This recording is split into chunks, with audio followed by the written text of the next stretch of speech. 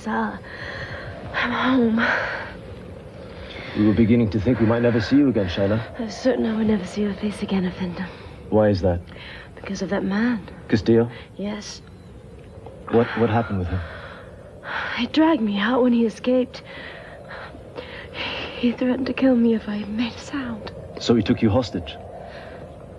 Yes. Where did he take you? I do not know. As we started across the desert, he blindfolded me. And how did you escape from him?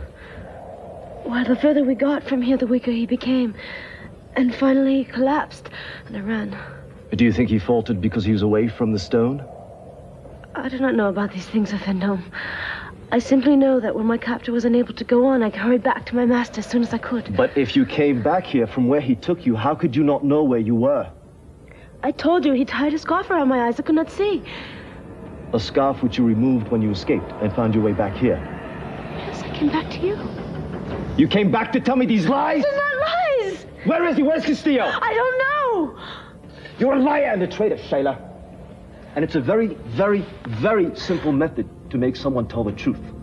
Now you will tell me everything.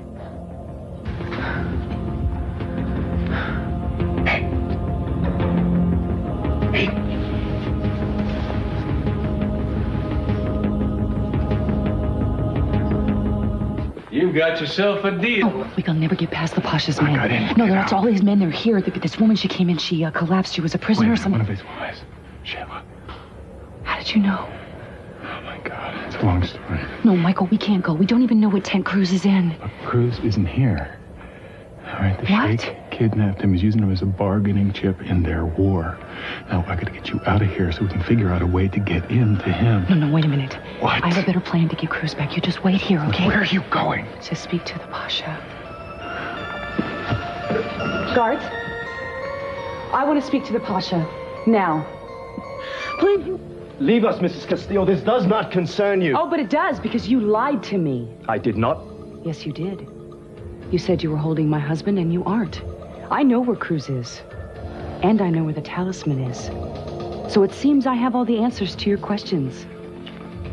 Are you now going to consider my offer? You think Cruz and the talisman are the only things that can help you. But I'm the only one who knows where they are. And I'll tell you if you accept my offer. To bare my soul for the amusement of American television viewers? No, to attract the support for a just cause. And you will tell your side of the conflict. To stop the Sheikh by putting him in the glare of public attention. But you have to move soon because time is running out. In Kharif, I am the one who decides if we have much time or little time. I'm not trying to tell you what to do. I'm just urging you strongly to understand that international news coverage could help you a lot more than even Cruz could. And you would have all the bases covered.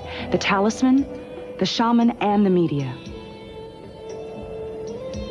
You are a dangerously persuasive woman, Mrs. Castillo. But have I persuaded you?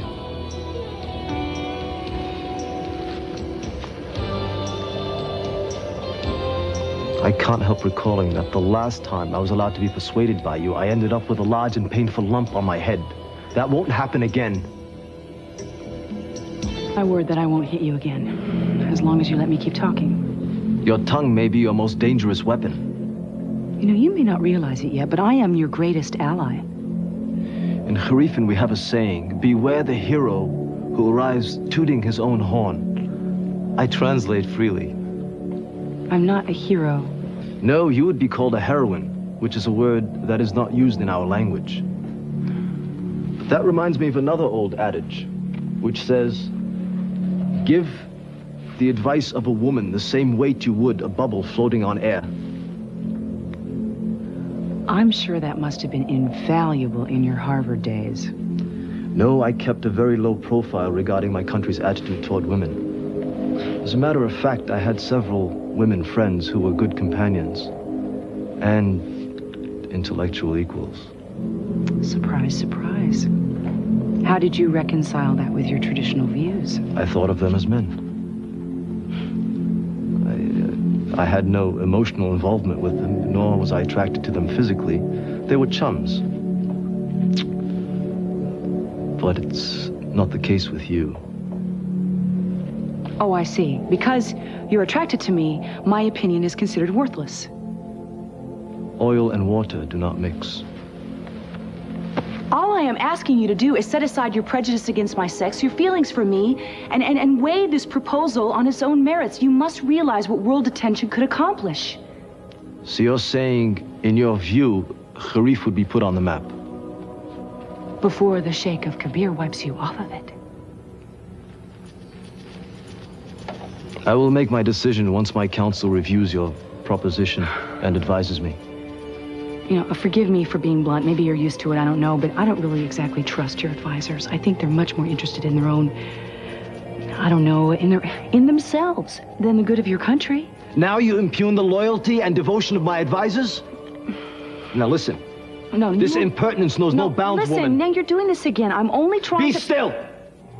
I do not care to hear any more from you at the present.